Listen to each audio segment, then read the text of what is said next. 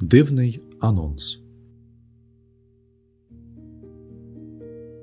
Роздуми над Словом Божим на п'ятницю 34-го звичайного тижня. Рік перший.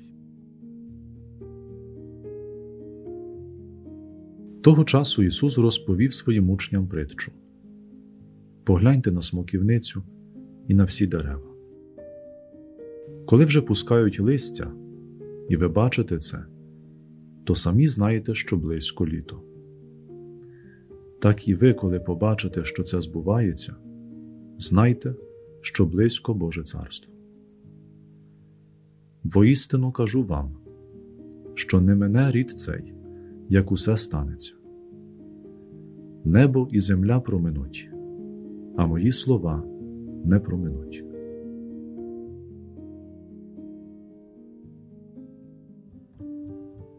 Як смоківниця чи інші дерева, що розпускаються, звіщаючи наближення літа, так усі згадані Христом знаки, страждання, переслідування, війни, катастрофи мають звіщати наближення Божого Царства. Дивний анонс. Так, наче страждання, заповідані Ісусом, можна порівняти з деревом, що розпускає бруньки і готується принести щедрий плід. Гадаю, історія спасіння повна таких ситуацій, коли страждання звіщало літню пору, час принесення плодів.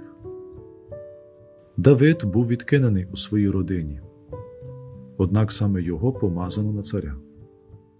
Іов безвинно страждав, однак це привело його до ще більшого пізнання Бога.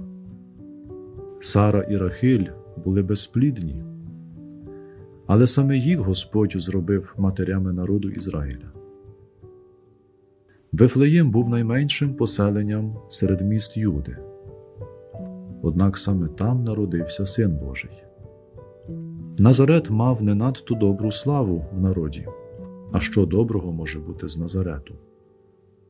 Але саме там відбулося благовіщення і минуло дитинство Ісуса.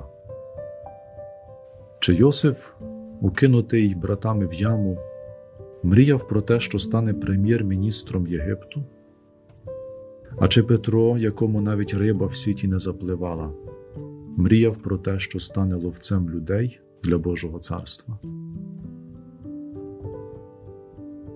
Можливо, ти зараз зазнаєш якихось страждань, нерозуміння з боку найближчих, маєш непевну ситуацію на роботі або чуєш докори від своїх друзів, насмішки з приводу твоєї віри.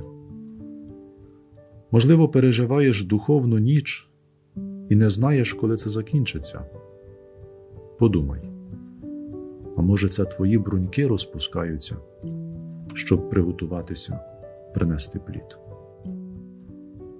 Слава Отцю і Сину, і Святому Духу, як було на початку, і нині, і повсякчас і на віки вічні.